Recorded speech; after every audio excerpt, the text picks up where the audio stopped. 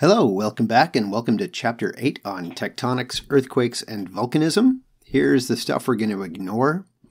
Here's the big questions we're going to answer in this chapter What are Earth's history, interior structure, and materials? How does plate tectonics explain changes in Earth's surface? How do plate motions affect Earth's surface?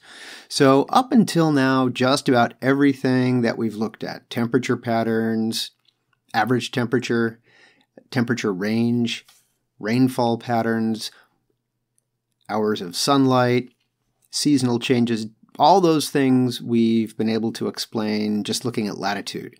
And now we're going to get into the other the other most important factor in physical geography and that is plate tectonics. And plate tectonics is going to answer pretty much everything that latitude can't. So, why are there mountains in some places? That's plate tectonics. Why are there depressions or valleys? That's plate tectonics. And let's get into it. So, the first and most important thing to talk about is endogenic versus exogenic processes. So, when we're talking about plate tectonics with earthquakes and volcanoes and whole continents moving around, those are all powered, those are all termed endogenic processes driven by Earth's internal heat are endogenic. So the stuff that's powered from inside Earth is endogenic. Earthquakes, volcanoes, those are all endogenic processes. Processes driven by external factors, so outside the surface, gravity, wind, rain, those are exogenic. So rivers, glaciers, action at the beach, all of those are exogenic processes. If it's powered from the inside, that's an endogenic process.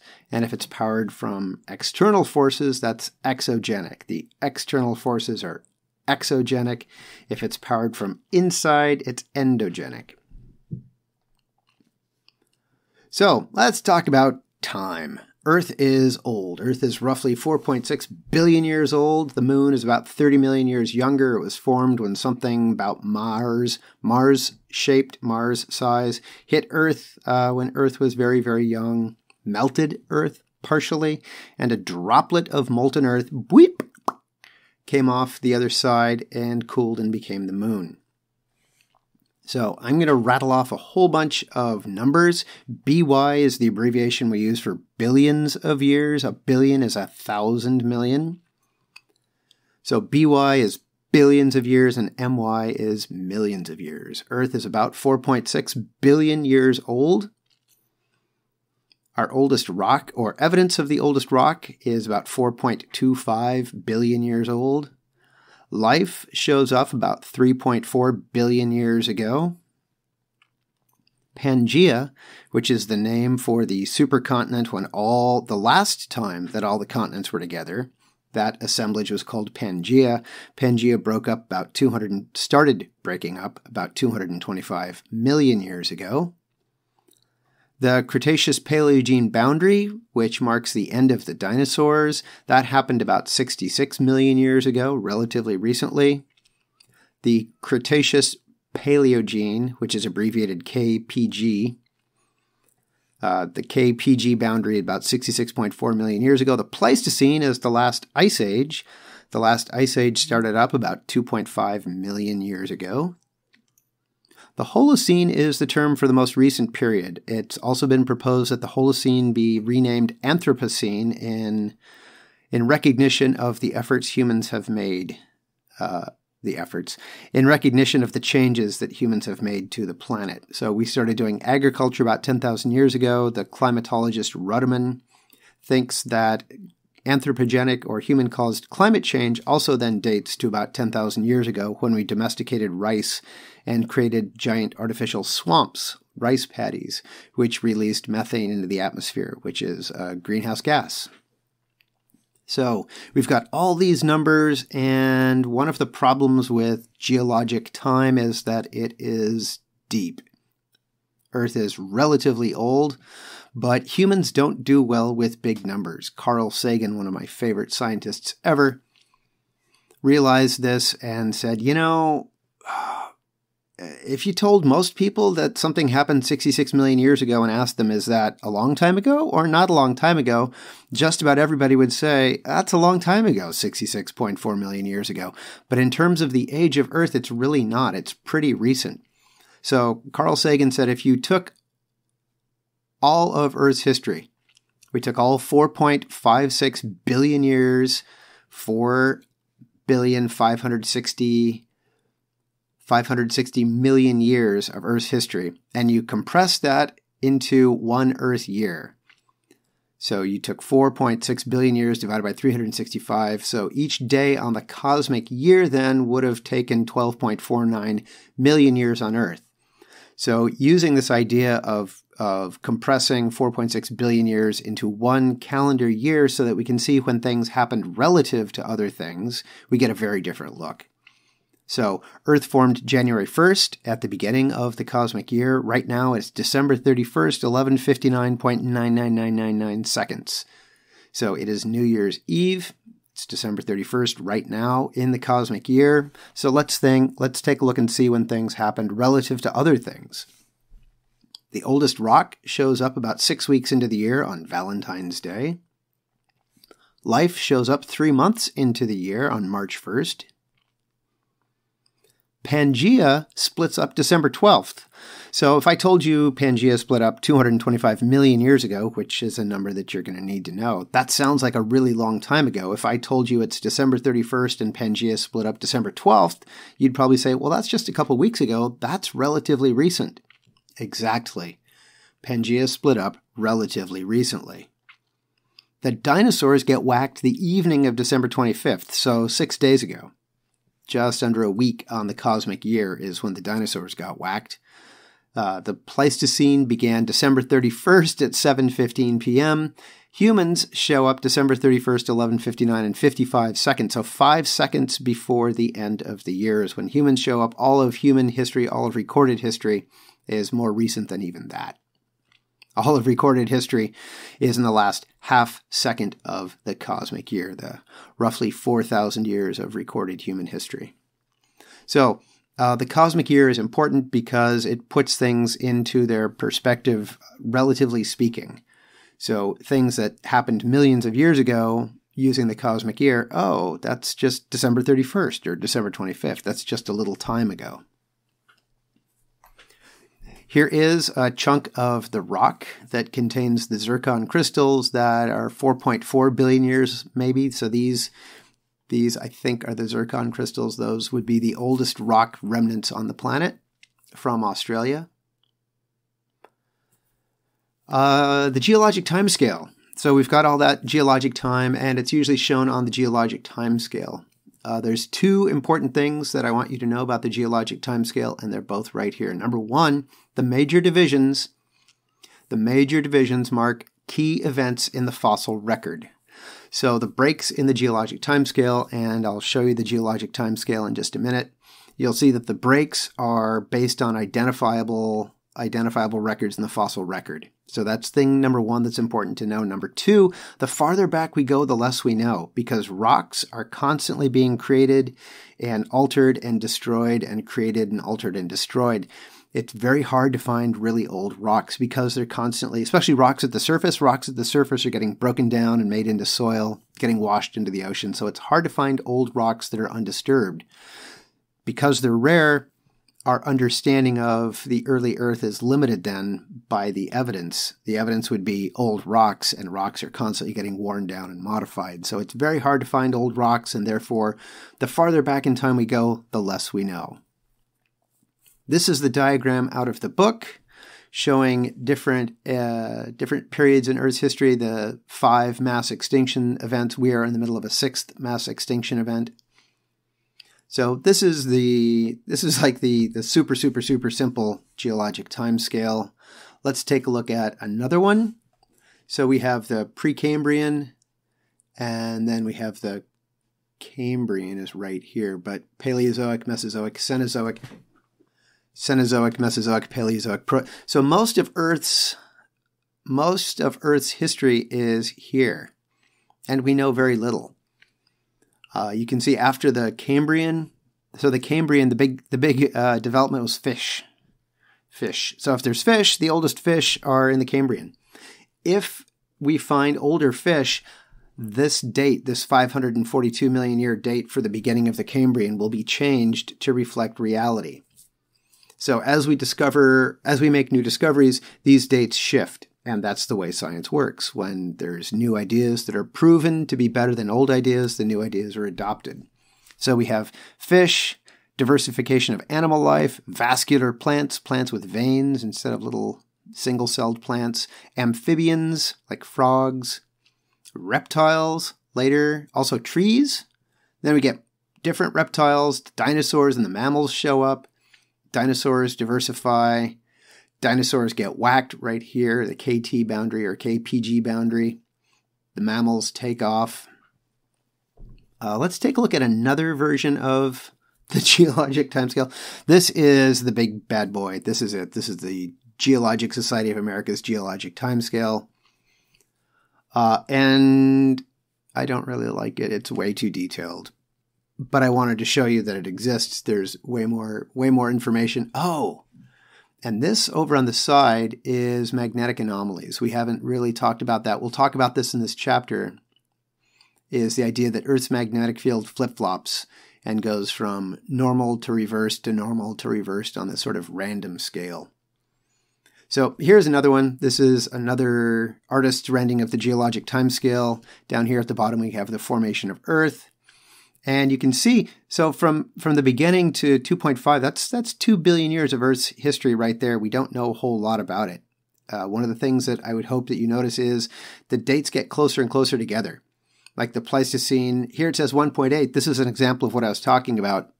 Between the time that this diagram was uh, created and the present, they've changed the beginning date for the Pleistocene from 1.8 to 2.5 million years ago. So still, it's about two and a half million years in here, uh, from 5.3 to 2.5, the Pliocene. So 23 to 5 million. So you're looking at 17 million years here. As you go back, for example, right here, going from 542 million years to 2.5 million, from 2.5 to 4.6. As, as we go back farther in Earth's history, we know less and less and less about it. I, I like this, uh, this geologic timescale. It's more whimsical than the other ones. Oh, right. Uh, so this is an artist's impression of an event that happened 66.4 million years ago when an asteroid about six miles across, traveling about 100,000 miles an hour, smacked into the Yucatan Peninsula off of Mexico with enough energy to ignite global forest fires that wiped out the majority of species on the planet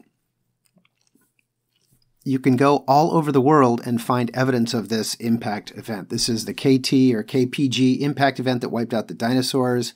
Here we have older rock as you get up to the surface, younger and younger rock. And right here is the boundary layer with a layer of clay.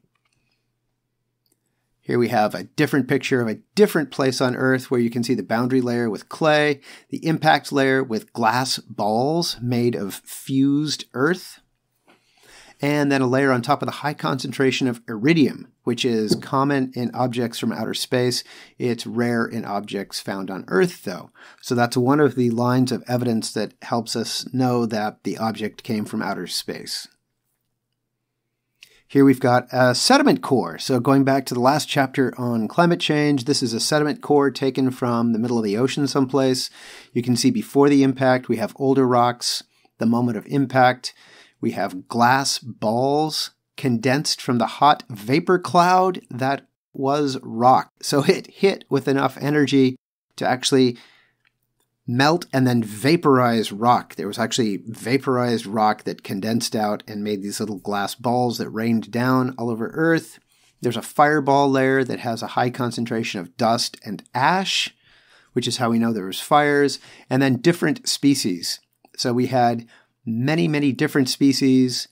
They were large, they were very complex foraminifera in the oceans. And then after the impact, we see a change in the distribution of species. They're smaller, they're simpler, there's fewer different types of foraminifera after the extinction event.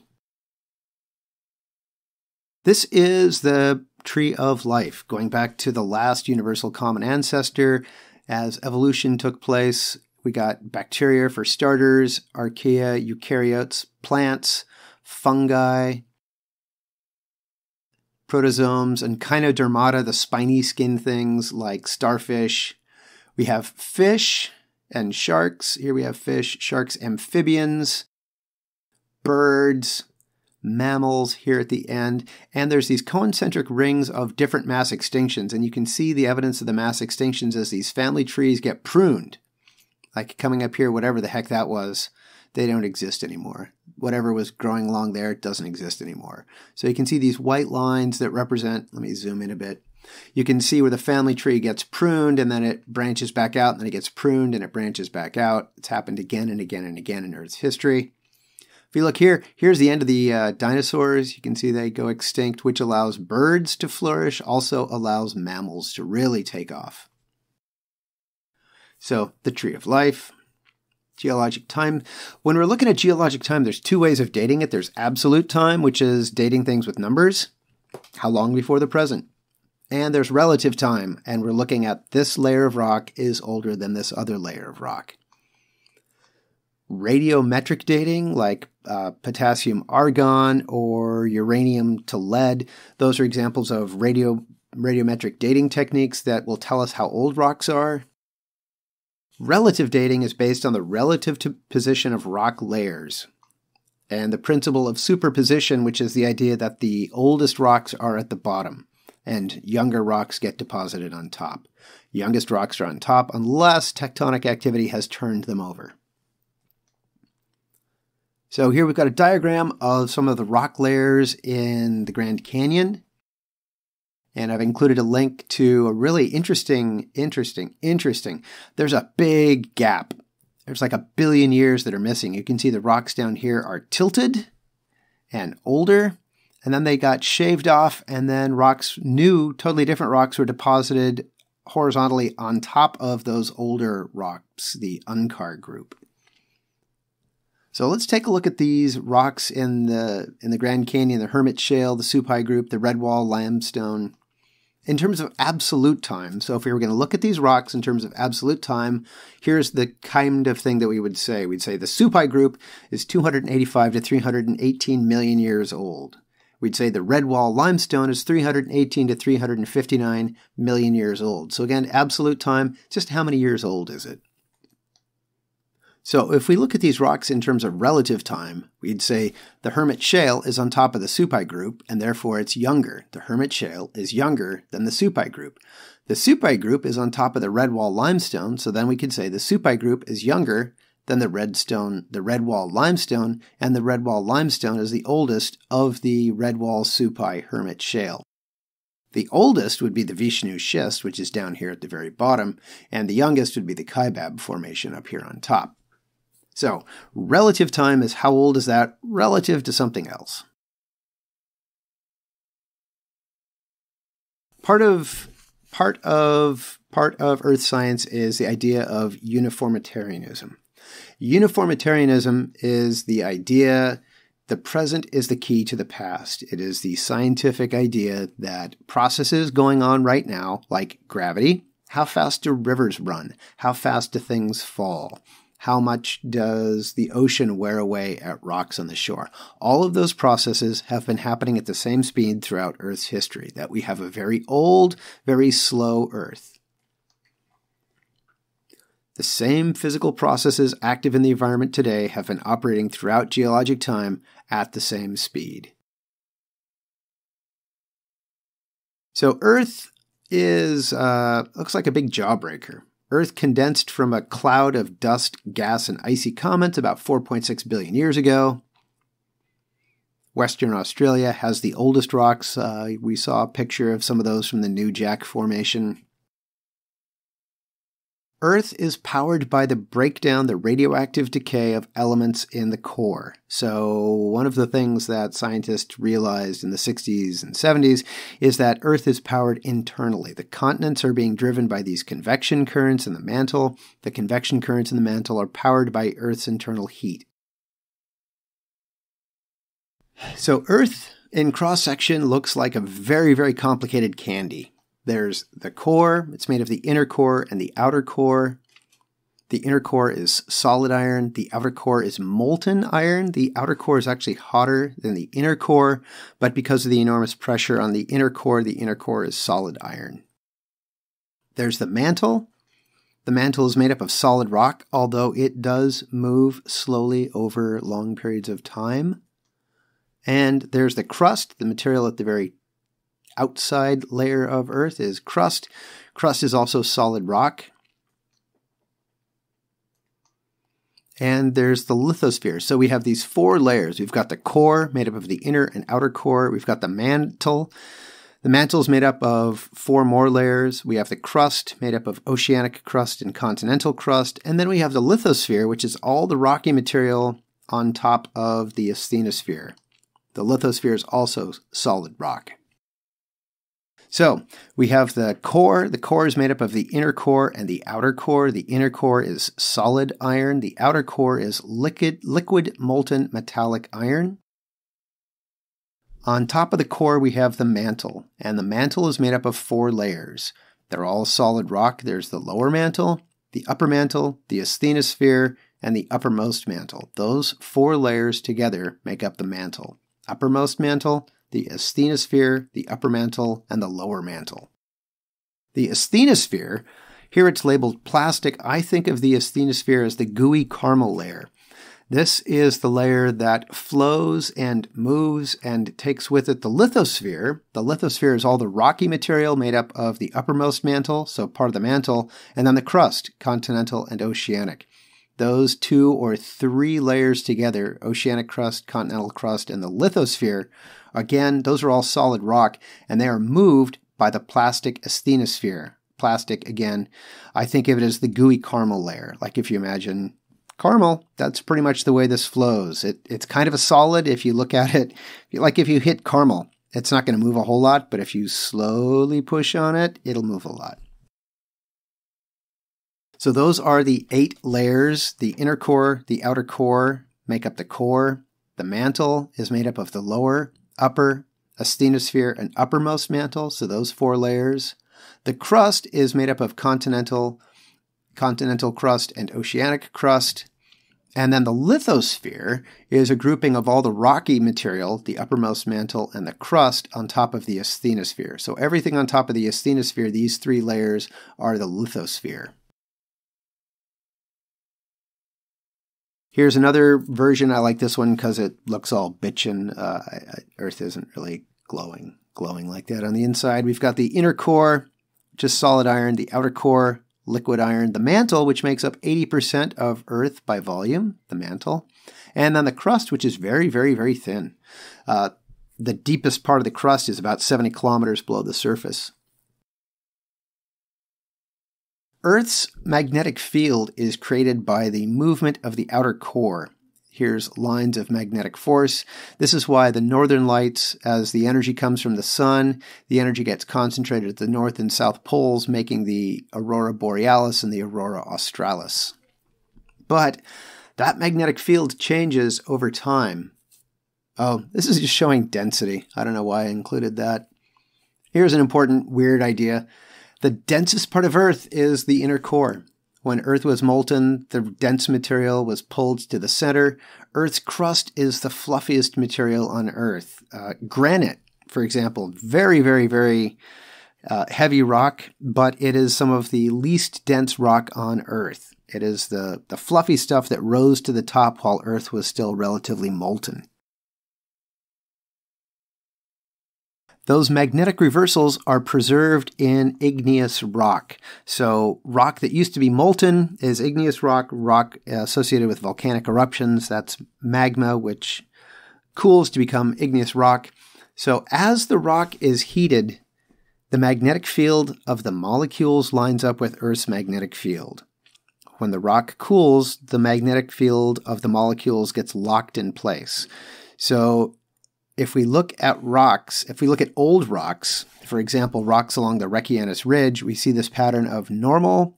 The red would be normal, the purple would be reversed polarity. So if you had a compass and you were alive on Earth at this time, the time that these purple rocks were being formed, the North Pole in your compass would point to Antarctica. And then we've got the blue, that's going to be normal polarity. It's going to point at the North Pole. Green, if you're around during this time, you'd be your compass would be pointing at the South Pole again. This was incredibly important evidence for plate tectonics that scientists could date the rock, so we know how old the rock is, so we know how far the plate has moved. So we know how fast the plates are spreading apart at the spreading center. We know how old they are. And we also know the magnetic orientation of Earth's magnetic field looking at igneous rocks. Here is a longer record of Earth's magnetic field, the Brunhes Chron. The blue or turquoise, whatever color this is, is normal, reversed, normal, reversed, normal, reversed, normal, reversed. You can see it's random. It's not like every 500,000 years. Some reversals last a little bit, some last a long time. It's poorly understood, which I think is really, really interesting.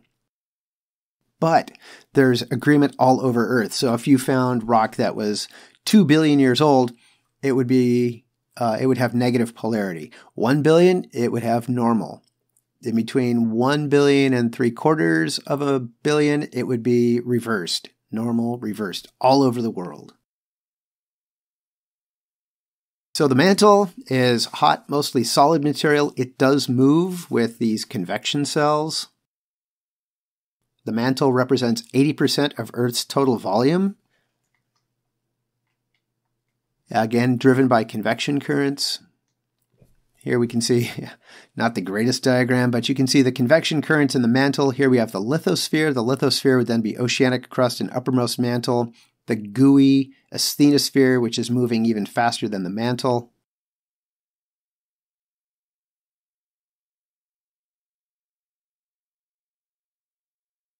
Closer to the surface in the mantle, the temperature and pressure are less, and so the rocks are more rigid and when put under stress, they tend to break as opposed to deeper rocks. Those are going to be hotter and under more pressure and they flow. They will bend. In fact, a good way of thinking of it is like chocolate chip cookies. If they're straight out of the oven and they're still warm, you can bend them. So that would be the deeper, deeper rocks in the mantle.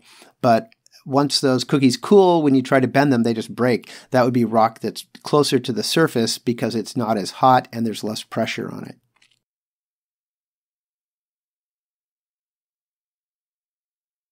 The asthenosphere is from 70 kilometers below the surface to about 250 kilometers. It's plastic, it flows like caramel. The lithosphere is the uppermost mantle and then crust, either oceanic or continental or both. The lithosphere is moved by the asthenosphere. It's broken into about 14 major plates. We'll take a look at that later. The Mohorovičić discontinuity, or MOHO, separates the crust from the mantle. Above the MOHO is the crust. The rocky shell of the continents and the ocean floor, that would be the lithosphere. The crust is going to be made up of oceanic crust. Oceanic crust is chemically very similar to basalt. Basalt has a lot of iron and magnesium. It has a density of 3 grams per cubic centimeter. That's going to be very important, and it helps us understand why plate tectonics works the way it does. That oceanic crust is more dense than continental crust, that we'll see in a minute. So, when two plates come together, if one of them is oceanic crust and the other plate is continental crust, the continental crust will make the oceanic subduct. The oceanic crust is darker and it's more dense, so it's going to slip under the continental crust. Oceanic crust again higher in iron and magnesium. It's about five kilometers thick, so if you just started walking straight down, after an hour, you would have walked about three miles. You could have walked through all of Earth's crust, or at least oceanic crust. Oceanic crust, about five kilometers thick. Continental crust is much thicker, it's also less dense. Oceanic crust, and this is important, and I'll come to it, come back to it again and again and again. Oceanic crust flows like motor oil when it melts.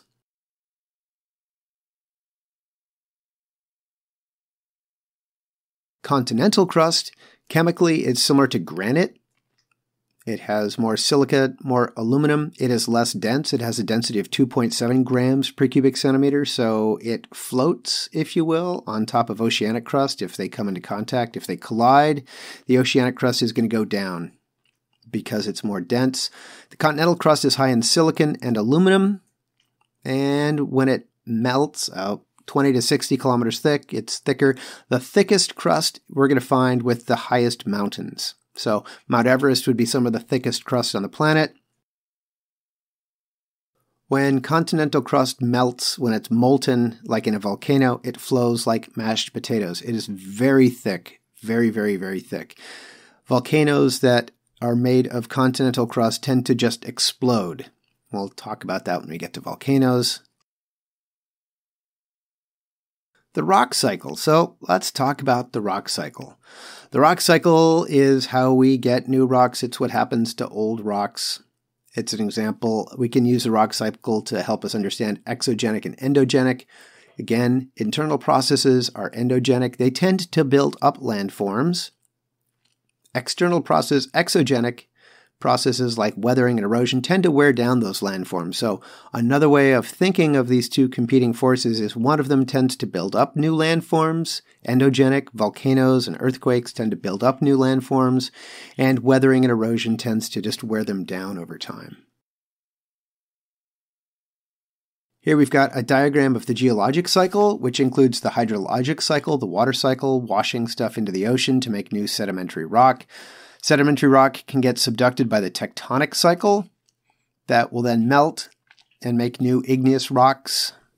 So the geologic cycle includes the water cycle, the rock cycle going back and forth between sedimentary, igneous, and metamorphic rocks, and then the tectonic cycle moving the plates around. So again, the geologic cycle is just made up of the rock cycle, the tectonic cycle, and the hydrologic cycle. There's some rocks, if you like rocks. Sedimentary rock is made up of sediment. Igneous rock is rock that used to be molten, and metamorphic rock is rock that has been changed by heat or pressure. It could have been igneous, could have been sedimentary, could have even been metamorphic rock, but if it's altered by heat, by compression, or uh, if it's yeah by heat or pressure, then it becomes metamorphic rock. Metamorphic rock is usually harder and more resistant to weathering. So metamorphic rock would tend to stick around, would be uh, worn away more slowly. So uh, here's a really weird idea. Earth is, in terms of the materials it's made of, not very diverse. Only eight elements uh, make up 99% of Earth's crust, and of those eight, oxygen makes up about half. About half the weight of Earth's crust is oxygen. This is really, really interesting. Oxygen combines readily with other chemicals. That's why when you leave tools out overnight, they rust because oxygen is combining with the iron to make iron oxide. This is what happened with rocks on Earth. In fact, people who are looking for extraterrestrial life are often just looking for oxygen in the atmosphere. If there's oxygen in the atmosphere, something is making it because otherwise all the oxygen in the atmosphere would get bound up with rocks by oxidation. So if there's oxygen in the atmosphere, something's making it. And at this point, the only process this, the only process that we're aware of that makes oxygen would be photosynthesis, which is life. So oxygen makes up about half the weight of Earth's crust. Silicon makes up about a quarter of the weight of Earth's crust. So about three quarters of Earth's crust is just oxygen and silicon, which is incredibly interesting because SiO2 is the chemical symbol for quartz, which is found in beach sand. So the chemical formula of beach sand, two parts oxygen, one part silicon, is about the same as the makeup of most of Earth's crust. Rocks are made of minerals, and a mineral is an inorganic natural substance with a chemical formula and a crystalline, structure. So if it has a chemical formula, it's a crystalline structure, it is a mineral. Rocks are made of minerals. Rocks are made of minerals.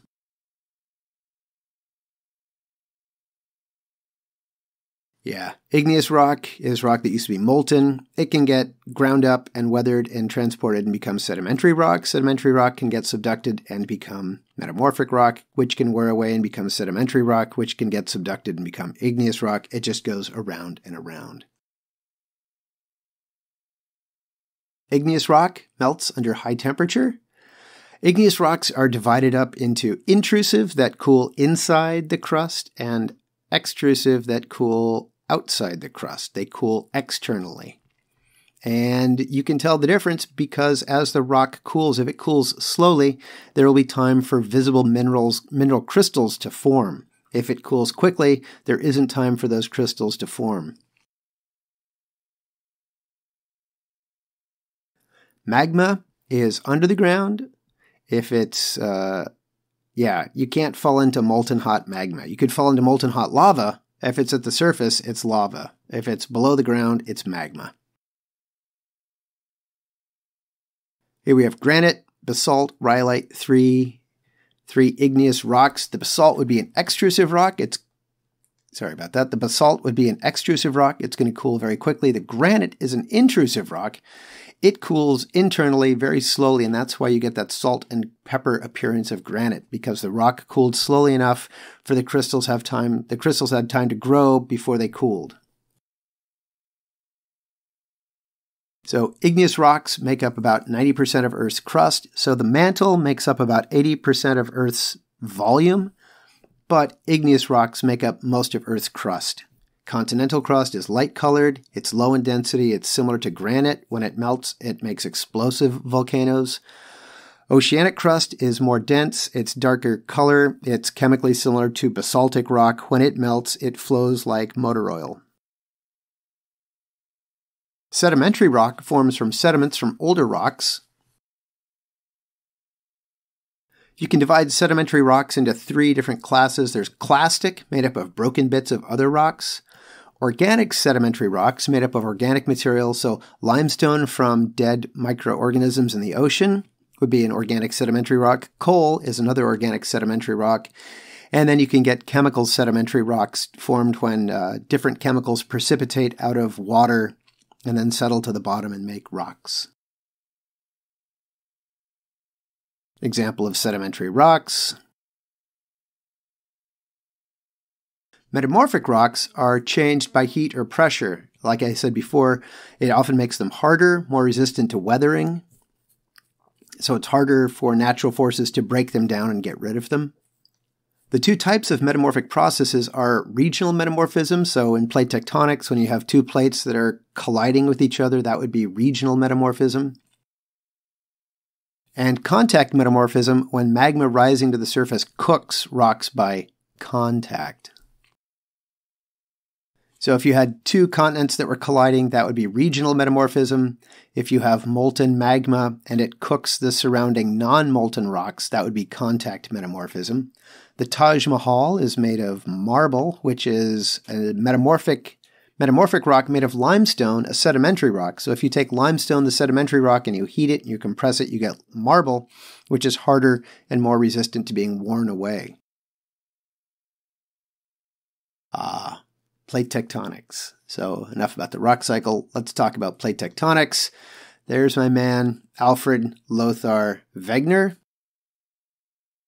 He proposed the idea of continental drift in 1912. He was ridiculed, he was mocked because of a couple things. Number one, he was a meteorologist, not a geologist, so the geologists were envious of somebody coming in and telling them what what their science was about. And he also didn't have a mechanism. He he had outstanding evidence. He had geologic evidence, he had fossil evidence, he looked at the fit of continental margins. The evidence that that Wegener had for continental drift, what, what he called continental drift and we now call plate tectonics, his evidence was great, but he had no mechanism. So he couldn't explain how the continents were moving, and so people rejected his ideas right up until the 1960s. In the 1960s, there was a flood of data, and the data all supported each other and led to the rapid rapid adoption of plate tectonics. Plate tectonics was as huge for geology as evolution was for biology. It it explained so many things overnight. Overnight, so many earthquakes, volcanoes, mountains, valleys, all of it made sense. The distribution of earthquakes, we'll, we'll look at that in just a minute. So here we have 220 million years ago, this was Pangea. We've got North America, South America, Africa, India, Australia, Antarctica, Eurasia. And then it breaks up. Here we have Earth today.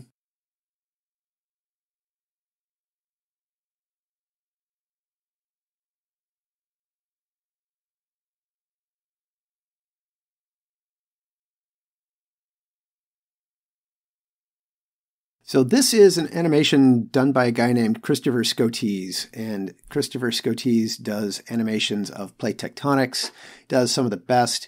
Here's a weird idea. Pangea was just the most recent time that the continents had come together.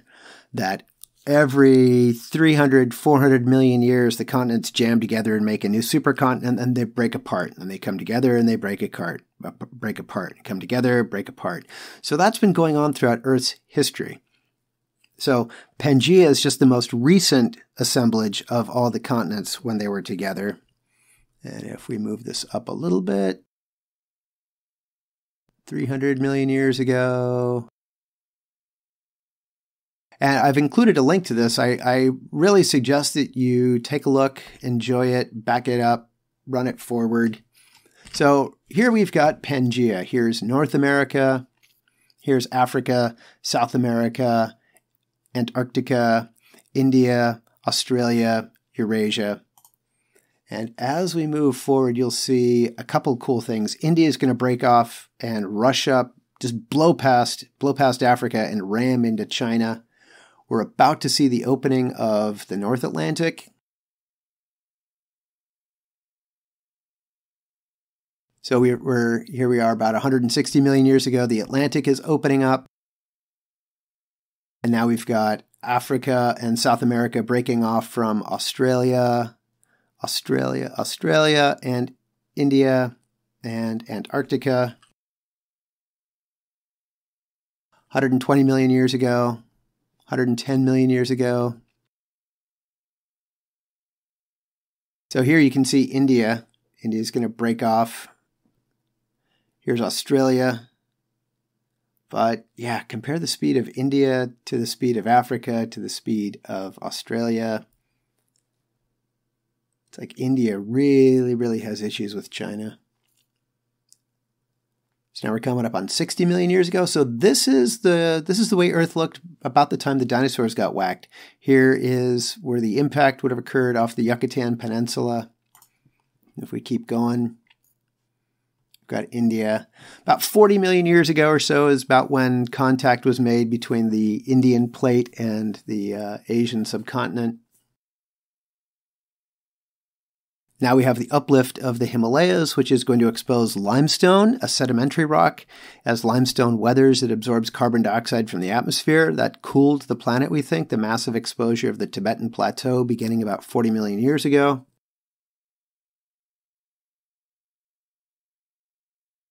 By 30 million years, things were looking more recognizable.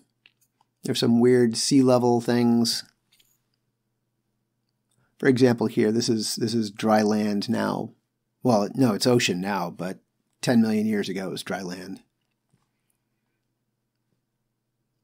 And we're going to come up on the last ice age. So at the last ice age, this was dry land. You could walk all the way out of Asia down into Indonesia. You could walk from Australia to Papua New Guinea. That was dry land. You couldn't, there was a, a deep water channel that separated the two. Uh, there was no, was no English channel. You could walk from France to England. So that brings us up to today. Uh, here is some of the evidence that Wegener looked at. He looked at the distribution of fossils. So we've got a freshwater reptile found across South America and Africa, a land reptile found across South America and Africa, another land reptile found across Africa, India, and Antarctica, and then this tree fern or a Glossopteris fern found across Australia, Antarctica, India, Africa, and South America. And the distribution of these doesn't make sense if you look at where the continents are today. Like, how do you get a freshwater reptile found in Africa and South America? Because they can't swim in salt water or they die. Well, if you put the continents together in the shape that they were at when that animal was alive, it was a contiguous distribution. It was all dry land. So the continental margin fit, this is the sea level margin. If we were looking at the actual fit of the continents, they would have fit much, much better than this. This is just the sea level fit, not the actual continental margin fit based on the type of crust. So Wegener had fossil evidence. He had great fossil evidence. He had paleoclimatic evidence. So the white areas, there's evidence of big ice sheets across Australia and India. across Madagascar, plates that are now tropical. We've got ice sheets. And we have places that used to be tropical swamps that are no longer tropical swamps. They're not in the tropics. Parts of Europe, uh, parts of parts of uh, North America were tropical swamps, but they're no longer in the tropics. But if you put the continents back to where they were when those rocks were being formed, then you have tropical swamps in the tropics. You've got glacial areas at the poles. Another diagram showing the distribution of glaciated areas in the past, and if you put the continents together, and then where those, where those same glaciated areas are today. So we have plates, lithospheric plates made of crust and uppermost mantle floating on the asthenosphere. The good stuff mostly happens at the boundaries between the plates, where they're either getting pulled apart, making a new boundary, or at the edges of two plates where they come together. That's where you're going to get earthquakes, that's where you're going to get mountains and volcanoes. There's 14 plates. We have an upwelling of magma from some places. The plates spread out and then they sink at other places, forming earthquakes, volcanoes, folding, faulting, warping of rocks, Here we've got a map of the different plates. Some of the plates, like the Pacific Plate, are just oceanic crust. Some of them, like the North American, South American, African, and Eurasian plates, are a combination of continental and oceanic crust, but they move as one big plate, they move as one big plate, they move as one big plate. The arrows indicate the direction of movement of the plates. So, for example, Africa is going up into Eurasia, India is still crashing into China. The Atlantic is getting bigger, the Pacific is getting smaller. So, all the places that look like cold fronts, those are convergent boundaries where two plates are coming together. In this case, the Nazca plate is getting stuffed under South America, melting and then making volcanoes. Here we have another cross section showing the mantle, the asthenosphere, and then the lithosphere. So here's the South American plate made up of continental and oceanic crust. There's a spreading center, a spreading center, the mid-oceanic ridge, where new material is coming up. So the Atlantic is getting bigger, the Pacific is getting smaller. Here we have subduction going on. This is the Thing Valley, the Thingr Valley in Iceland, where it's actually the continent is actually getting ripped apart. Iceland sits on top of one of these spreading centers, and so it's actually getting getting pulled apart. Oh my god, this map. This this is the uh, Marie Tharp map made by Marie Tharp in the 1960s. This was another important evidence for plate tectonics that before this map existed, scientists thought that the floor of the ocean would be totally smooth. They knew that Earth was old, they knew that material had been washing off the continents for billions of years, and so scientists figured that the ocean would have been filled up with dirt. But Oceanic crust is some of the youngest crust on the planet. Uh, the oldest oceanic crust that we can find is about 280 million years old. Right here along the mid-oceanic ridge, it's brand new. So that would be some of the youngest crust would be along the mid-oceanic ridge. Oceanic crust is still among the younger material on the planet. The oldest that we've got, I think it's found in the Mediterranean, about 280 million years old. As opposed to the age of rocks, uh, the Canadian Shield is over 3 billion years old. Those rocks in Australia are 4 billion years old. So we're talking 4,000 million years as opposed to it's being formed this morning. You can also see the Great Trenches, Great Trenches, Great Trenches where two plates are coming together. So the Pacific, all around the Pacific Ring of Fire, because new materials coming up here, Earth isn't getting any bigger, so for every centimeter of new material, someplace else a centimeter of material is going to have to subduct and melt. Just absolutely gorgeous, gorgeous math. This, uh, she was mansplained. She had to do the math and prove to male scientists again and again and again that her analysis was in fact correct, and it was. Just absolutely gorgeous cartography and scientifically incredibly important.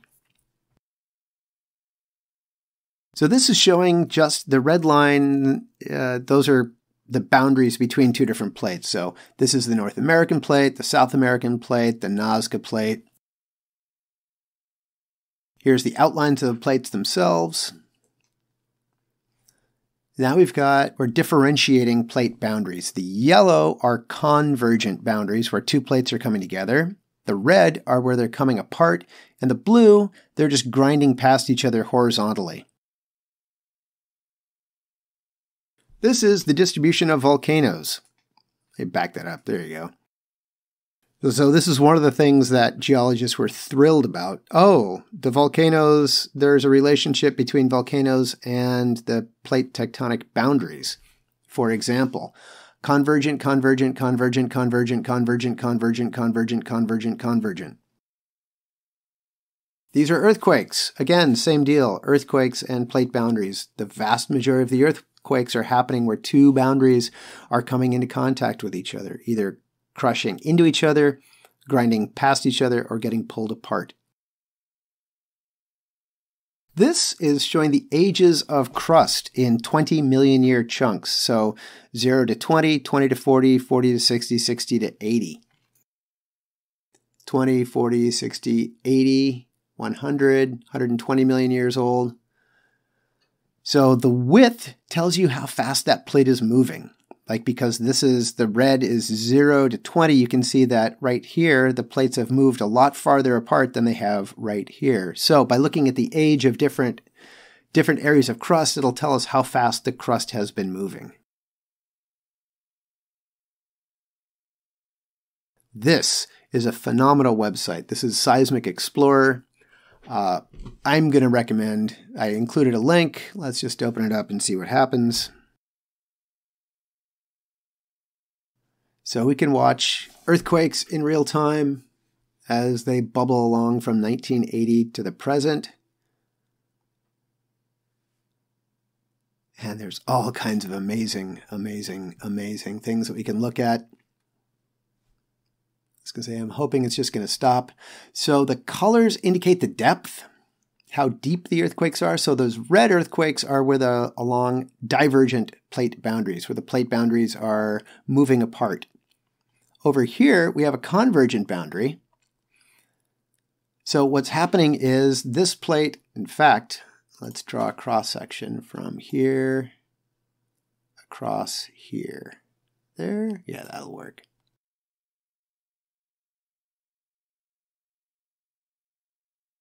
So we can actually see what we're seeing is a descending plate this would be the Nazca plate getting subducted. This would be the uh, South American plate. We can see that the earthquakes are steadily getting deeper and deeper and deeper, and then they stop as they melt. At some point, the plates actually are melted, and so uh, there's no more earthquake. There's no, there's nothing to fight. There's no resistance. So those were earthquakes. We can also take a look at volcanoes.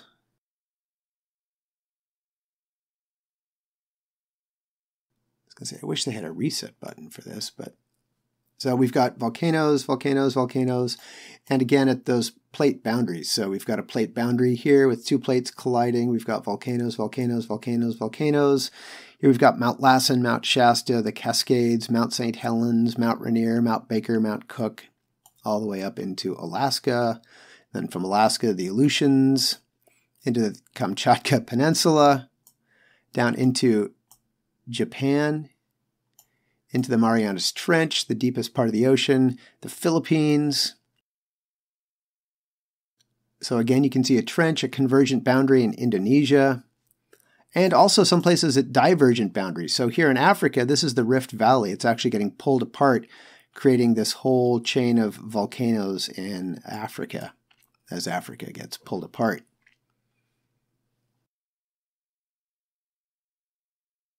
So that was the Seismic Explorer. I really, really hope that you. Uh,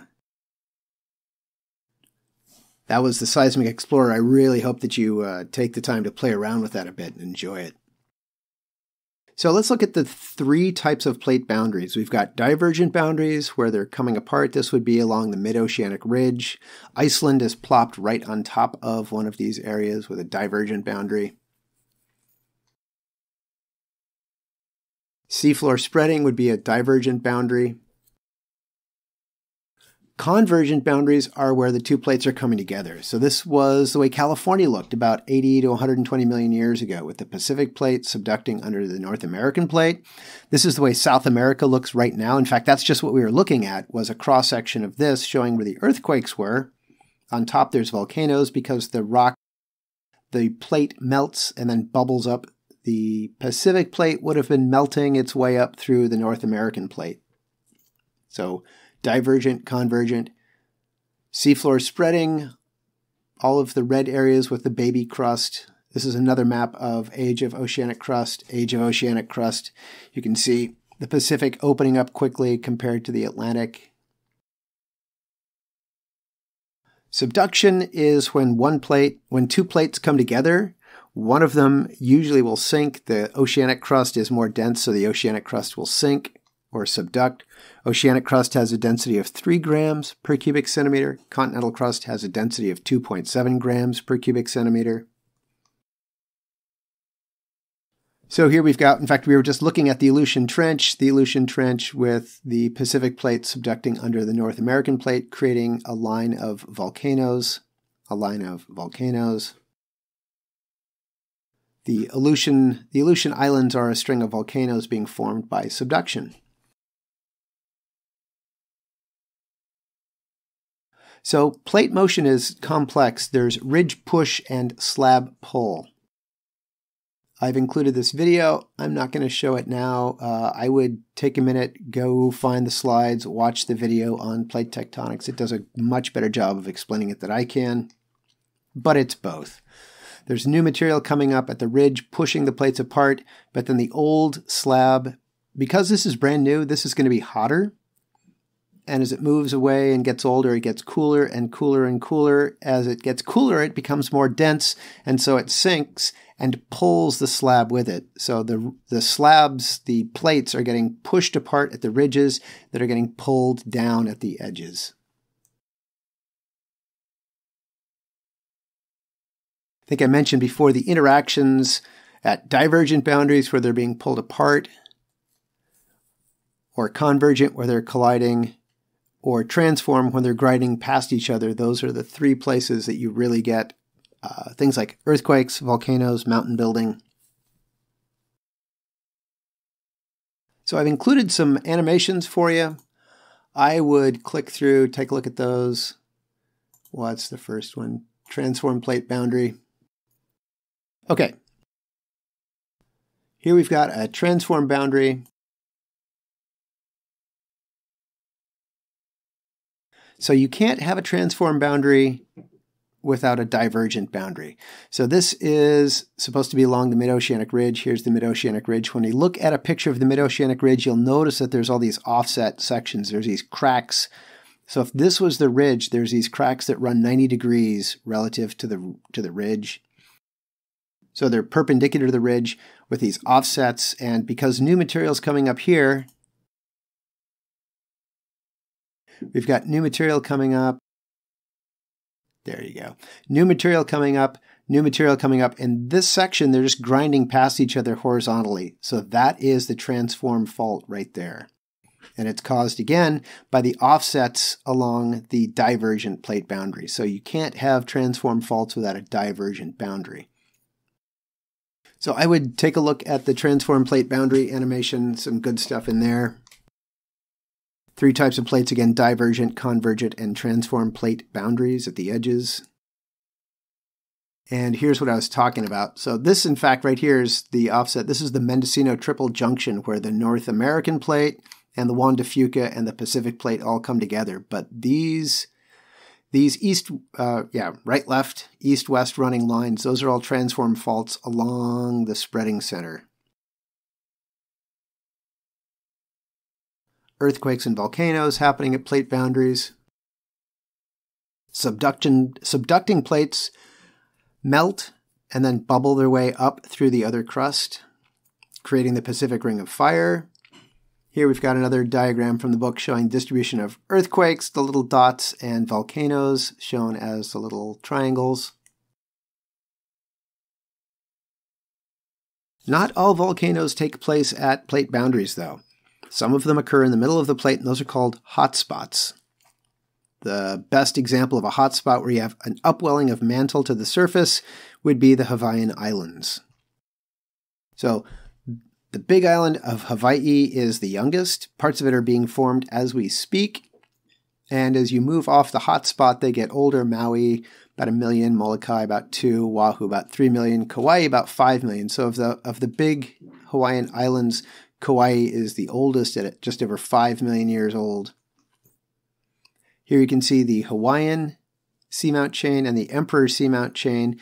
The oldest, the oldest mountains in the Emperor seamount chain are about 80 million years old. These are about 40 million years old. These are being formed this morning. So you can see that the plate is moving in this direction. The hot spot, we think, has stayed in the same place over time, but the plate is moving on top of the hot spot. Here's a diagram showing what's happening. So the hotspot is stays in plate, and the Pacific plate, the lithosphere, all the crusty stuff on top of the asthenosphere, is getting moved along to the northwest. Okay, let's talk about more plate tectonics. Plate tectonics can change the shape of the surface of the Earth. That's why we have mountains. That's why we have valleys. So stress affects rock by deforming it. There's three types of stress. There's tension, which stresses rock, which stretches rock. Tension is pulling, compression pushing, shortens rock, and shear, uh, like the two blades of a scissors when they when they slide past each other. That's an example of shearing. So here's the three types of the three types of stress. We've got tension, compression, and shear stress. Those three types of stress will create earthquake faults, three types of faults, and we'll talk about those in a minute. Rocks either bend or break. Deep, warm rocks, uh, we were talking about this earlier, like chocolate chip cookies. Warm cookies bend, cold cookies break. It works the same way with rock. Shallow, colder rocks are brittle. Deep, warm rocks bend, they're ductile. Folding, when two continents are coming together, you can get folding. The crust gets shorter and folded.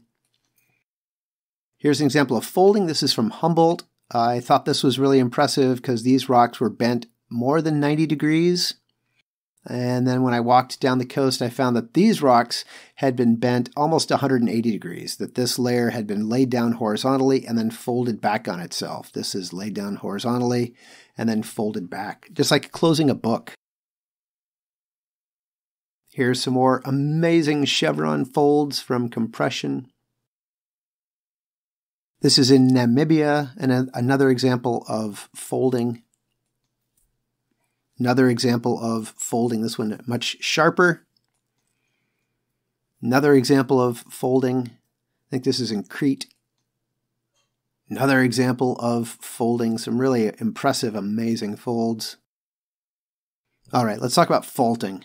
So, faulting leads to earthquakes. There's uh, three types of faults. There's normal faults, which are caused by tension, reverse fault, reverse faults caused by compression, and then strike slip or transform faults caused by shear stress. So let's take a look at these. One of the fun things about earthquakes or faults rather is if you know what the stress is, if you know that, for example, if you know that the rocks are getting pulled apart, then you would expect to find normal faults. And if you find normal faults, that tells you that the rock is being pulled apart by tension. So the side that hangs over is called the hanging wall. The other wall is called the foot wall. With tension, the two sides get pulled apart, and the hanging wall is actually going to drop down. So if the hanging wall drops down, that's normal for the hanging thing to drop down. The hanging thing drops down, that's normal. That's a normal fault caused by tension. The opposite of tension would be compression, Compression would make a reverse fault where the hanging wall goes up.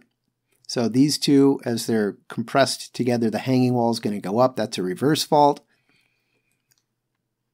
So here again, we have a normal fault with the hanging wall dropped down caused by tension. Here is a reverse fault where they've been shoved together. This layer of rock and this layer of rock would have been at the same level. But you can see this rock, as they've come together, has been shoved up I don't know, is that 20, 40 feet? And then a strike slip is when they're just grinding past each other horizontally, such as the San Andreas Fault. Nobody's going up, nobody's going down. This is a right lateral fault. So if you were standing here, you can see that those rocks used to be over here, but they've moved to the right. So if I was here, I'd look over here and say, oh, those have moved to my right. That's a right lateral fault. It's exactly the sort of fault. So if this was, if we were in San Francisco looking over at Oakland, Oakland is moving to our right. The San Andreas fault is a right lateral strike slip fault. Oh, let's review. Um, I'm going to show you some pictures and you can try to guess what type of fault this is. So this would be the hanging wall, that would be the footwall, this is the hanging wall, this is the footwall. So this has dropped down, the hanging wall has dropped down, caused by tension, so that would be a normal fault. You can see this layer of rock used to be at the same level as that, but it's gone up, which is the reverse of normal, so that's a reverse fault caused by compression. This is in Death Valley.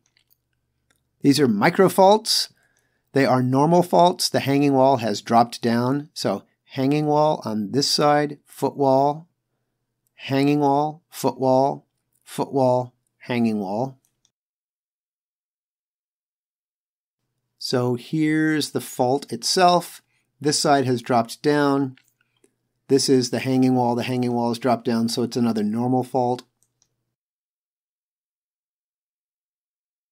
This is another normal fault. Although you can see all kinds of other things. Uh, sedimentary rocks are laid down horizontally. So there's been all kinds of tectonic activity because you can see there's this layer, that layer, that layer, that layer. Those are all different layers of that layer, that layer. Those rocks would have all been horizontal when they were formed, and now they've been tipped up and also broken. Little tiny thrust fault there's the, the fault itself. You can see this layer has gone up relative to that area. Clear, clearly there was more rock here back in the day, but it's gone now.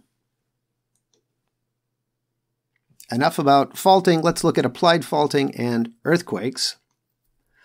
So with earthquake faults, the faults, the plates don't slide. They get stuck, but the pressure builds and builds until something breaks, and then they slip and grind and make an earthquake and get stuck and the pressure builds until it breaks the rock. So that sharp release of energy results in a seismic wave, an earthquake. The theory that explains how rocks move is called the elastic rebound theory. We'll take a look at that. We'll take a look at that right now. I've included another handy dandy link to uh, the elastic rebound theory. So at the elastic rebound theory, it's pretty straightforward that the plates move, and as the plates move, they will gradually deform and bend. That the rocks will deform under stress as the stress, sorry about that, the rocks will deform under stress. The stress will build and build and build until the rocks break.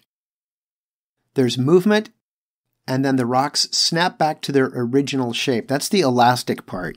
So, elastic is a physics term for a substance that deforms under stress and returns to its original shape when the stress is relieved. So, when there's stress on the rock, it bends. When that stress is relieved, it snaps back into its original shape.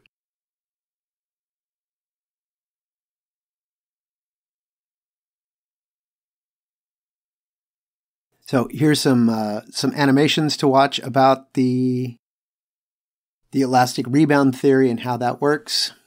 Some keywords: the epicenter. You've all heard that. That's where the earthquake is at the surface, or rather, the epicenter is the location at the surface directly above the focus, which is the subsurface location that the earthquake actually happened at. So the place where the earthquake happens is the focus at the surface is the epicenter. You can remember that epidermis is your skin. The epicenter is on Earth's epidermis on the surface. So we've got a fault, we've got the focus is where it happens underground, the epicenter is at the surface, and then if there's a visible expression of the fault, that's called a fault scarp. Focus, aftershocks and foreshocks. So if you when you have an earthquake, it's going to remove stress from part of the system but then as the stress gets moved around, it could accumulate someplace else that could create another earthquake, and that would be an aftershock. Seismographs are used to record the vibrations. So this is an actual seismogram of an earthquake. There are three scales that we're going to use to measure earthquakes. Each is going to measure something entirely different. So, the modified Mercalli scale measures damage. The Richter scale measures the size of the seismic waves. The Richter scale was the first scientific scale that allowed scientists to compare different earthquakes, and that was huge. For the first time ever, scientists could compare how much energy was involved with earthquakes that happened in different places at different times. The most modern scale is the moment magnitude scale. That actually measures the energy released in the earthquake. The Richter scale measures the size of the waves, so all you need is a seismometer to record them, and then you measure how high the waves are. That tells you what it is on the Richter scale. The moment magnitude scale, you actually need to go out, look at the ground, and see how far things moved, see how strong the rock was in order to figure out the moment magnitude scale was. So the mer- modified Mercalli just measures damage. It uses Roman numerals going from 1 to 12. Insurance companies use it. Uh, measures from 1 to 12. Insurance companies use it. It's not scientific at all. It's just how much damage was done. The Richter scale was developed by Charles Richter of Caltech. It was the first quantitative scale that allowed scientists to compare how big an earthquake was to another earthquake. It is logarithmic, so every whole number increase going from a 1 to a 2 means that the waves were 10 times as big, and it means that 32 times more energy was released by that earthquake.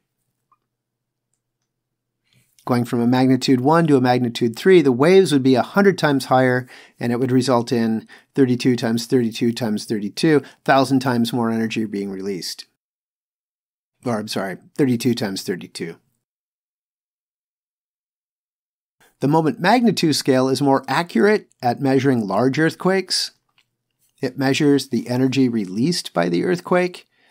You have to go out and look at how far the fault slipped, how, how large the surface area was where the fault was slipping. Larger surface area would require more energy to move, and how strong was the rock, because what happens ultimately is the strength of the rock is overcome by the stress of the fault movement. So the stronger the rock, the more energy it would take to break it. The advantage of this is that you can compare more accurately similar large earthquakes, and you can also look at earthquakes that happened before there were seismometers. So, because you actually have to go out and look at the fault and do some surveying, you can use it to figure out how big earthquakes were in the past when nobody was even around.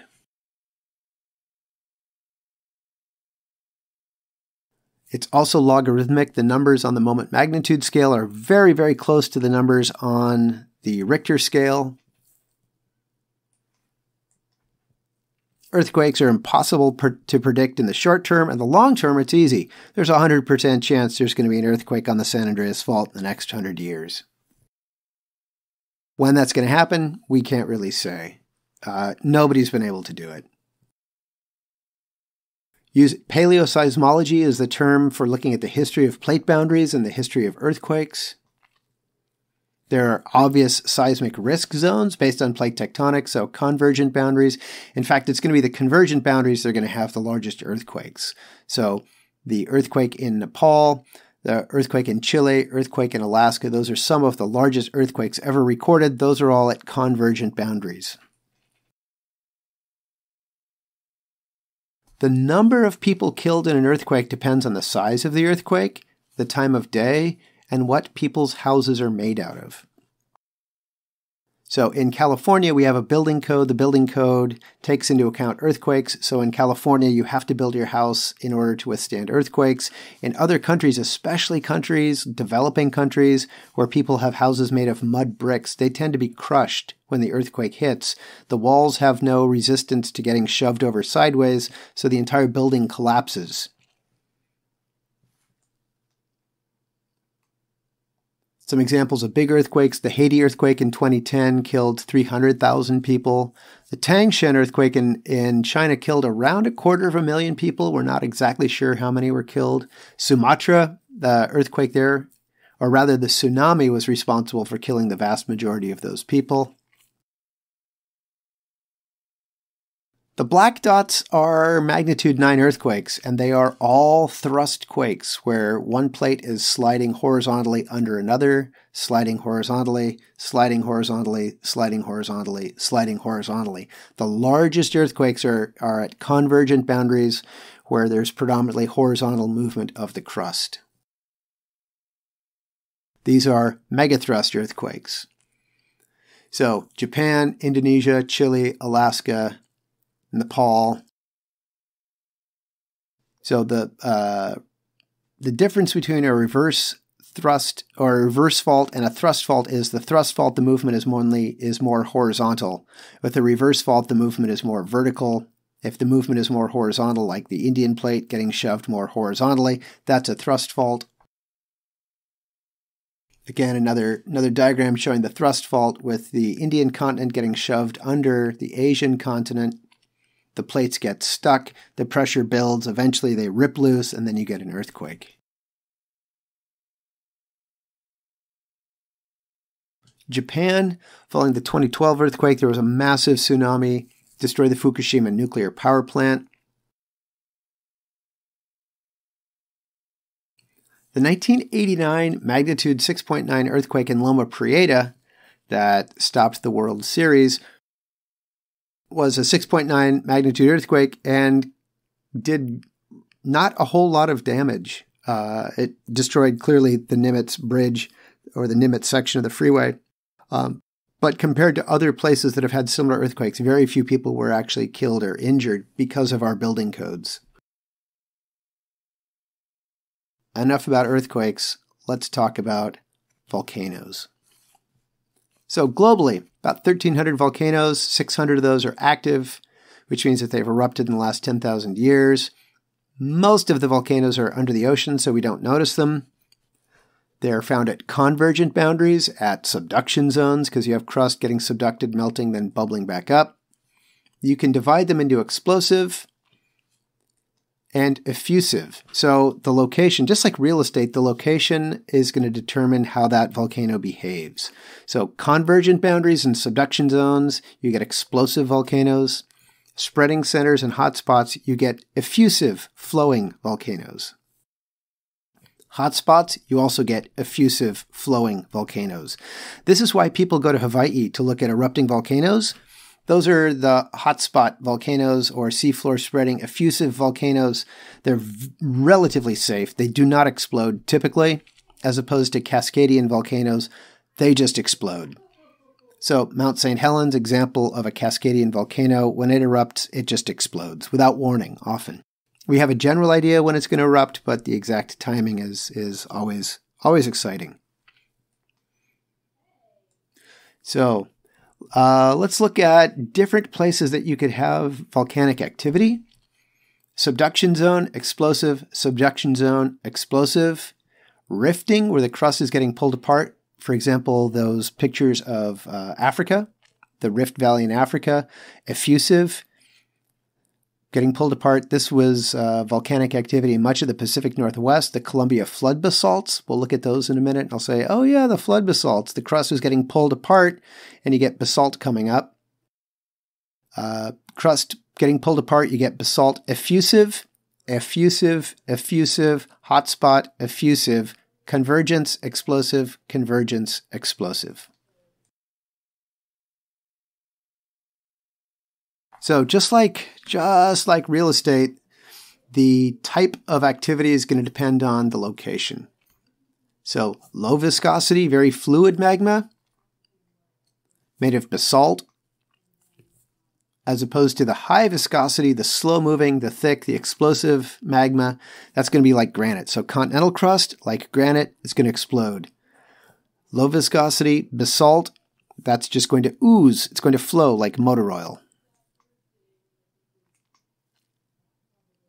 Effusive eruptions are relatively gentle. low viscosity, very fluid magma, making very flat, boring earthquakes. I'm sorry, very flat, very boring volcanoes. You get shield volcanoes, like all of the Hawaiian Islands are shield volcanoes. They're very, very flat because the lava is so fluid. You can also get cinder cones on the sides of shield volcanoes. We'll look at some pictures of that. So let's take a look at an erupting Hawaiian volcano.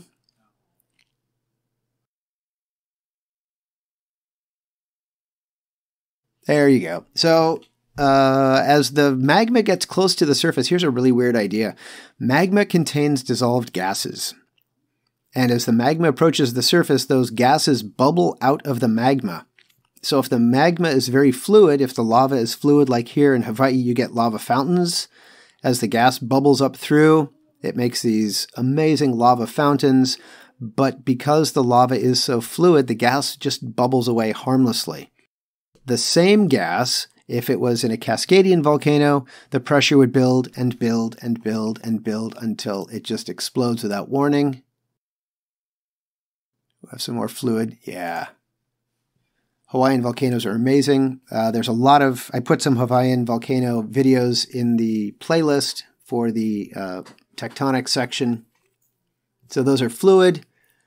Let's look at explosive eruptions. You get really steep. In fact, Mount Fuji Mount St. Helens, Mount Baker, Mount Cook, Mount Rainier, all the classic volcano mountains, you look at it and go, oh yeah, that's a volcano.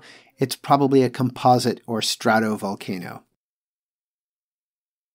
Less lava, but pyroclastics, that's a vocabulary term. Pyro means fire, clastic broken up, so it's ash, dust, cinders, scoria, pumice, aerial bombs, the material that is ejected violently during one of these explosive eruptions. Pyroclastic Flow. I'm not going to play this video. I really recommend watching it. This is Maurice and Katia Krafft. They were uh, French volcanologists. It was their dream to canoe down an active lava flow in a canoe. They were killed by one of these pyroclastic flows. Uh, yeah, pyro refers to fire, clastic broken up. So it's material that's broken up yeah, here they are hanging out right by an erupting volcano. And ironically, they were killed in the Philippines, Mount Unzen. Yeah, they were nuts. Here he is. If I die tomorrow, that would be sad, but it's okay because I'm happy. So, a pyroclastic flow, uh, also called a stone wind, the, one of my favorite terms is a nuée ardente, which is French for glowing cloud. So if this was nighttime in that cloud, it could be 300, 400, 500 degrees, traveling 200 miles an hour. So it just looks like a cloud of dust, but that's superheated gas and ash, and at night it would glow. So nuée ardente means glowing cloud, and it refers to the idea that if you saw it at night, the gas and the rock would be so hot that it would actually be glowing uh, Maurice and Katia were killed in this pyroclastic flow. And in the video, they point out, ironically, they were in a place 41 people were killed at the same time. Uh, and they were all in an area that they all thought they were all volcano experts, and they were in a region that they thought would be safe. So it's it's ironic that they were killed while they were trying to be safe. This is Mount St. Helens. Mount St. Helens, I think, is the best example of the difference between the Hawaiian and the uh, the Hawaiian effusive eruptions and the explosive eruptions associated with continental crust.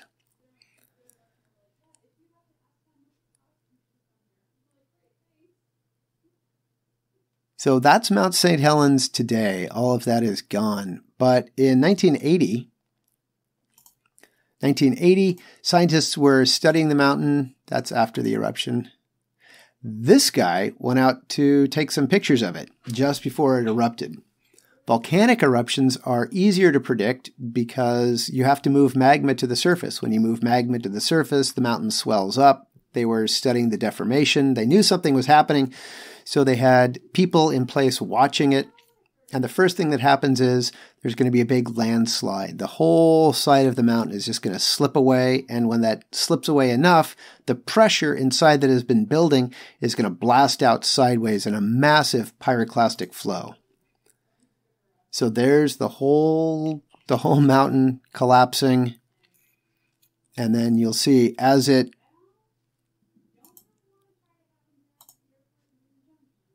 as it collapses, oh, this guy's still talking, it erupts out sideways and obliterates everything. Whoosh. Pyroclastic flow, the most dangerous part of a volcanic eruption. Oh, and this is volcanic glass. Uh, it's it's incredibly sharp. This is what damages lungs. Volcanic glass is not ash from fires. Ash from fires is relatively soft. This is these are microparticles of glass, and you can see they're very very sharp. This is why it causes lung damage. So just like with real estate, I mentioned the shape cross section. This is a stratovolcano. It's got that steeper side formed of multiple layers of lava and ash, as opposed to a shield volcano formed with an effusive eruption, very flat, very boring. In fact, this is a cinder cone. This is the slope of the shield volcano. Very common to get cinder cones on. So there could be a cinder cone there, a little cinder cone there. Cinder cones are relatively small volcanoes. These stratovolcanoes are huge. Shield volcanoes are even larger. Um, these are two different forms of basaltic lava. This would be Aa, this is Pahoehoe. If it's flowing and it comes to rest and then it cools, it often has this smooth, ropey appearance. If, as the lava is cooling, it's still moving, so it gets broken up, you get this sharp, angular, broken up material called Aa. More Pahoehoe, rhyolitic lava, uh, making a bread crust texture, bread crust texture as it contracts as it cools. The Rift Valley in Iceland, where it's getting pulled apart, there's a river flowing down. So there's rifting, it's getting stretched apart to the, to the right on that side, to the left on this side. These are the Columbia River basalts I said before when we were looking at the figures showing the locations of volcanic activity. Oh, yeah, I'll say there was rifting like the Columbia River basalts. This is all basaltic magma, effusive, flowing over the landscape like motor oil. This is Mount Hood. Mount Hood is a stratovolcano caused by convergence. It is an explosive eruption. It will done blow up when it erupts. This is basalt, very fluid, effusive, caused by rifting. So, two volcanoes in the same place or relatively close together formed out of totally different magma under totally different tectonic circumstances, creating totally different volcanic landforms. So, the flood basalts, they're just flat, and the composite volcano, very steep. Composite volcano made of lava. Tephra is that broken up material. They are the largest. They are tall. They are steep uh, Pompeii, Mount Fuji, Mount St. Helens, Mount Shasta. They make explosive eruptions. Here we have Mount Fuji, made of multiple multiple eruptions of lava and ash and lava and ash. Hazards of the composite, the pyroclastic flow. We've already talked about that in the context of Mount St. Helens. High density mixture of hot, dry rock, hot gases. If it's nighttime, it'll be glowing. Can travel 100 miles an hour, I believe this is a, is a screen grab from Mount Unzen. I found that someplace else. Pyroclastic flow. A lahar is a volcanic mud flow. So there's a couple different ways you can get a lahar. You could have an eruption in the tropics with lots of ash followed by a heavy rain event. That would give you a mud flow. You could also have it in the Cascades. Mount Lassen, when it erupted in 1917, the eruption melted the snow and the ice on the mountain so the lava mixed together with the snow and ice to become a volcanic mud flow, a lahar. It's an Indonesian word for volcanic mud flow. A lahar. We saw one of these on day one looking at geovisualization. Here we have how long you can live from, well, after, uh, I think this was Mount Rainier. After Mount Rainier erupts, you'll have 10 minutes, 15 minutes, 20 minutes before the mud flow or lahar hits. Shield volcanoes are very wide, very boring. They're flat, flat, flat, made of basaltic lava. usually don't explode. Shield volcanoes are incredibly flat. They are, by volume, some of the largest, but they're very flat. Shield volcanoes, flat. Cinder cones are small. Sunset Crater, there's a bunch in Lassen. They're made of basaltic lava. They don't explode. Frothy basalt is ejected, lands close to the vent.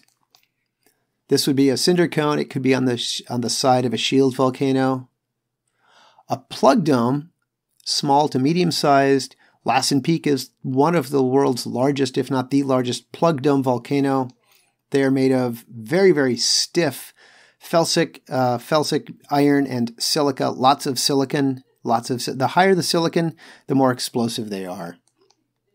So in this case, the lava oozed out like toothpaste, incredibly thick. So whatever gases were trapped, they're not going anyplace because they're trapped by the lava being so thick. So it it yeah, let's just look at it. This is Mount Lassen. You can see that there's a core of solid rock, and then the sides are just broken up material. So they're often made up of, of a core of material with broken up broken up uh, pyroclastic material on the sides. This is Mount Mount Lassen when it erupted in 1915. This was, I think, taken in Redding or Red Bluff. You could see, although you could see the mushroom cloud from the eruption from San, from Sacramento back in 1915 when Mount Lassen erupted. Caldera, it's just a crater at the top of many volcanoes. Uh, it can either be formed if the magma chamber drains out before it erupts, you can end up with a caldera, or if the top is blown off, then you can end up with a caldera. Crater Lake is a caldera. La Caldera is a caldera in La Paz. So here we've got a side view of Mauna Loa, which is a shield volcano, very, very large, very, very flat, as opposed to Mount Rainier, which is steeper, more dramatic, but you can see the volume of Mount Rainier way, way less than Mauna Loa. And here again is a side view of a shield volcano, and you can just see how incredibly flat they are as opposed to a composite. Uh, I think this is Mount Shishkin in the Chamkat, Kamchatka Peninsula in Russia, made of multiple flows of ash and lava. This is the cinder cone in Lassen, and this is the Shield volcano. This is called Prospect Peak right here. So you can see the slope of the Shield volcano, and then on the side there's this little cinder cone. There's the cinder cone, there's the slope of the Shield volcano. This is Mount Lassen taken from the summit of the shield, I'm sorry, from the cinder cone. This is the cinder cone. This is Mount Lassen. Lassen's a plug dome, and this is Prospect Peak, which is a big shield volcano. And Lassen is unique in that shield volcanoes are associated with uh, effusive eruptions and divergent boundaries. The crust is actually getting pulled apart. In this region, but over here, there's, in fact, uh, towards the coast, there's subduction, with the Juan de Fuca plate getting stuffed under the North American plate, bubbling to the top and making volcanoes. So here's uh, Mount Lassen, the world's largest plug dome volcano, very, very steep sides. Here is a shield volcano, much more gradual, gentle slope. Mount Lassen, some sort of shield volcano, this is why people go play with shield volcanoes. That basaltic lava, it doesn't explode. You can go play with it. This is Cody Gibson, a former student out on the big island of Hawaii playing with an active lava flow. Composite volcano. Volcanic hazards uh, are not as bad as, as earthquake hazards, although if a volcano erupts, the effects could be much worse because we have warning in fact, if I just get to the picture, yeah. So in order for the volcano to erupt, you need to move, you need to move magma to the surface. And when that happens, the shape of the mountain is going to swell up. So by studying the deformation of the ground, we know what's going on. Also, as that magma moves towards the surface, you get earthquakes called harmonic tremors that they can pick up with seismometers. As the magma approaches the surface, gas bubbles out and we can measure that. So there's many different ways of monitoring volcanoes to make sure that they don't surprise us with an eruption. So volcanoes are one type of mountain, but let's look at episodes of mountain building. Episodes of mountain building are called orogenesis, oro, mountain, genesis, birth.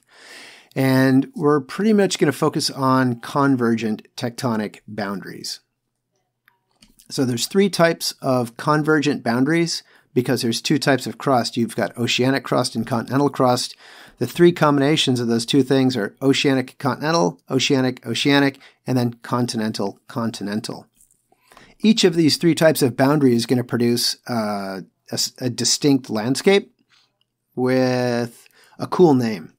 So the first one, uh, this is an oceanic continental boundary. This is called an Andean boundary, named after the Andes Mountains. So you've got oceanic crust getting stuffed under continental crust, making a chain of volcanoes. This is an Andean boundary, oceanic crust subducting with continental. The oceanic crust is going to get stuffed under. A Japanese boundary, you typically end up with an island arc or a chain of volcanoes. One or both of the oceanic crusts is going to subduct. In this case, just the oceanic crust. This again is a Japanese boundary. This is the way the Japanese islands are being formed. Many of the islands that, when we were looking at the Seismic Explorer, the Aleutians, those are all uh, formed by this type of convergence.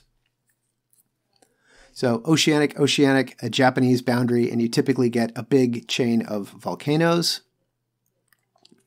And then finally, continental continental crust creates a Himalayan boundary. So there's no subduction because both of the crusts are continental. So nobody goes down, the crust gets shorter and thicker, making, for example, the Himalayas. You can also make mountains. You can also make mountains by faulting. So either by pushing plates together or by pulling plates apart. So by pulling plates apart with tension, you get normal faults, and those create uh, down-dropped fault blocks. That landscape uh, is made up of horsts and grabens. I'll just look at the at the diagram.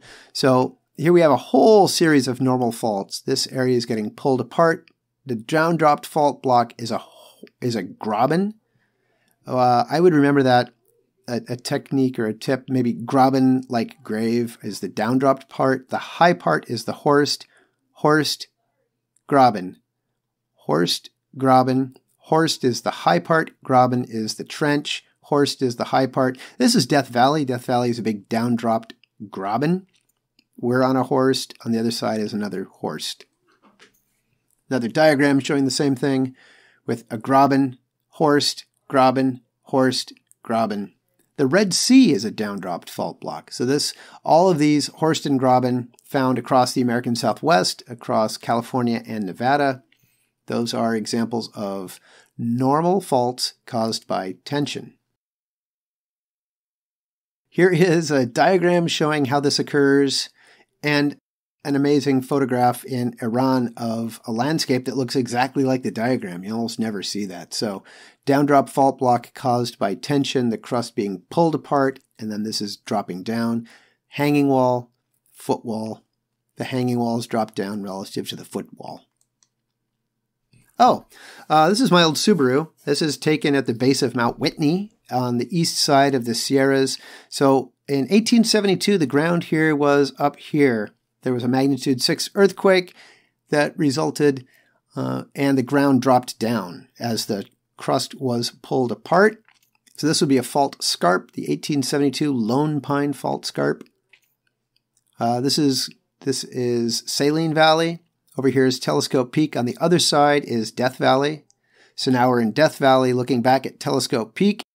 down dropped fault block, Graben, and I turned around to take a picture of these wildflowers and didn't realize until I looked at it on a computer that I got this fault scarp. So you can see the foreground has dropped down relative to the background, making this cliff. That's a fault scarp.